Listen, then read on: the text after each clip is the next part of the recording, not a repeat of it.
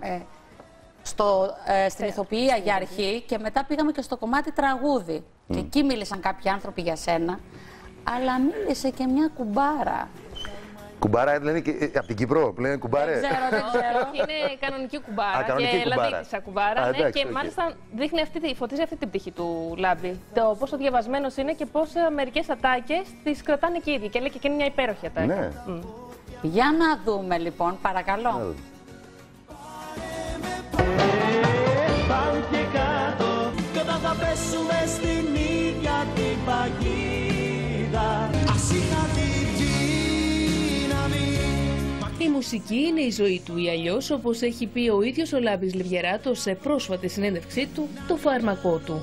Αυτό που τον έκανε πάντα να βγαίνει νικητής από τις πιο δύσκολες μάχες. Η σχέση του μαζί της μακροχρόνια, αφού επίσημα άρχισε κάπου το 1992 και συνεχίζεται μέχρι σήμερα. Στο πια ζωή Χαμένα όνειρα και αισθήματα χαμένα Ο Γιώργος Μαρίνος ήταν ο πρώτος άνθρωπος που του έδειξε το δρόμο προς το τραγούδι, αφού ήταν εκείνος που του έκανε την πρόταση να αφήσει για λίγο την υποκριτική και να πάρει μέρος στο σοου του στην αίθουσα. Και δεν είχε καθόλου άδικο, αφού ο Λάμπης από την πρώτη στιγμή κατάφερε να τραβήξει όλα τα βλέμματα τραγουδώντας κομμάτια του Elvis Presley και όχι μόνο. Δάκρυ, δάκρυ πάλι μέσα μου κυλάς Την καρδιά μου ξέρεις να τη ξεγελάς Την επόμενη χρονιά ένα άλλο πρόσωπο θα έκανε την εμφάνισή του βάζοντας το δικό του αποτύπωμα στην καριέρα αλλά και την καρδιά του.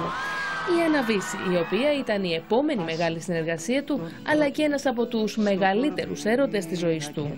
Τώρα μιλάω για τον προηγούμενο αιώνα, βασικά, ε, δηλαδή το 1992. Ε, εγώ ήμουνα στην ορχήστρα της Άννας Βύση. Ξαφνικά στις πρόβες, την ώρα που κάναμε πρόβα, με τον Καρβέλα και την Άννα, μπαίνει ένας πολύ όμορφος και λέει θα είναι μαζί μας στο σχήμα.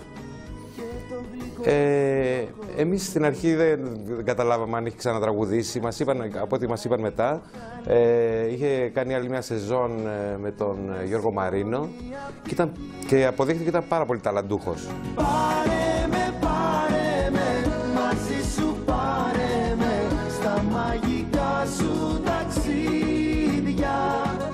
Νέο pop idol είχε μόλις γεννηθεί και η δισκογραφία δεν άρχισε να μπει στη ζωή του αφού το 1994 κυκλοφόρησε η πρώτη του δουλειά με τίτλο «Ας είχα την δύναμη». Το Λάμπη τον γνώρισα πολλά χρόνια πίσω, 94, κάπου εκεί. Στην πορεία συνεργαστήκαμε ξανά όταν α, γράψαμε, του γράψαμε μαζί με τον Νίκο Καρβέλα τον Μπαμ και κάτω και νομίζω ότι από τότε ξεκίνησε έτσι και μια φιλ- συνεργασία έτσι περισσότερο πιο δυνατή.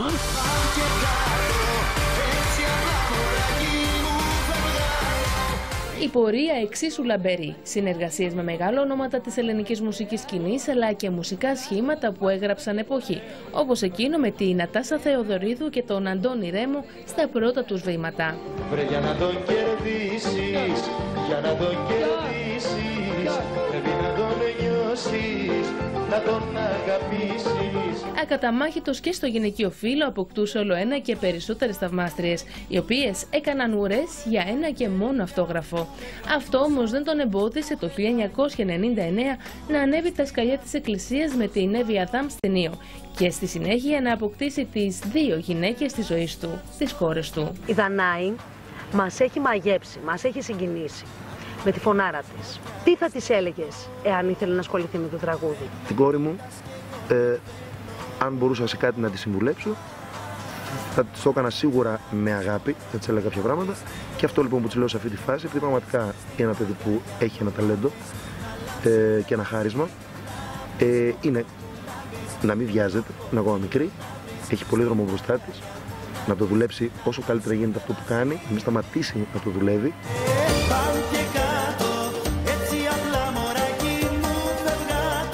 Η Νεφέλη ασχολείται και εκείνη πολύ με τη μουσική, αλλά πιο πολύ σαν ακροατής. Της αρέσει η μουσική, έχει άλλα ταλέντα ε, μ, και νομίζω ότι θα γίνει η μάνατζερ της Δανάης. Ο Λάμπης είναι ένα παιδί πάρα πολύ ε, καλό, είναι πολύ καλός για φίλος, ε, είναι ε, πάρα πολύ καλλιεργημένος ε, και έχει φοβερό χιούμορ, φοβερό χιούμορ. Ε, είμαι πάρα πολύ τυχερή που είμαστε τόσο φίλοι, είμαστε και κουμπάροι ε, και λάμπη μου θέλω κάτι να σου πω. Δεν έχει σημασία αν έπεσες, έχει σημασία πόσο γρήγορα σηκώθηκες. Και γι' αυτό ακριβώς σε θαυμάζω. Σ' αγαπώ πολύ. Πού είναι τα μάτια που με κοιτούσαν Πού είναι τα χέρια που με κρατούσαν Τα τελευταία χρόνια υπήρξαν στιγμές που ο ίδιος περπάτησε σε πολύ δύσκολα μονοπάτια. Η δύναμη ψυχής του, όπως λέει και το τατουάζ που χτύπησε πριν από λίγους μήνες στο χέρι του, κατάφερε να τον κρατήσουν όρθιο και εδώ και λίγο καιρό έχει επιστρέψει πολύ δυναμικά. Τι σημαίνει το τατουάζ; Αυτό. Ναι.